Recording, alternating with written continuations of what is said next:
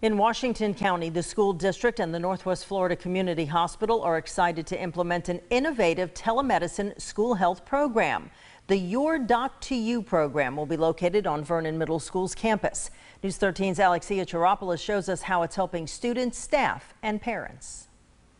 By having this telehealth service right on Vernon Middle School's campus allows for students and staff to utilize school nurses who will be able to consult directly with Northwest Florida Hospital's medical professionals. We're very excited to be partnering with Washington County School. Telemedicine, also known as telehealth, has been around even before COVID 19. And partnering with the schools in this time is, is essential because of potential exposure. Whether it is a common earache or a sore throat, it serves as a type of urgent care for the school. So it makes it far more convenient for students and for parents. With Your Doc to You, nurses will be able to consult with medical personnel at nearby hospitals while assisting patients and students.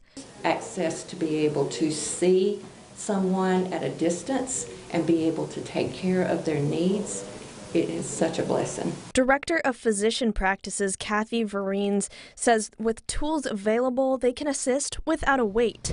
And they have been able to see students already. And really changing the philosophy is everybody has to come to us. Well, let's come to you. With this unique care system, this is the wave of the future. Just proud of this. Now, students were sent home with this consent form explaining what telehealth services are and how they will be utilized on the school campus. For more information, you can visit our website, mypanhandle.com. In Washington County, Alexia Charopoulos, News 13, Panhandle Strong.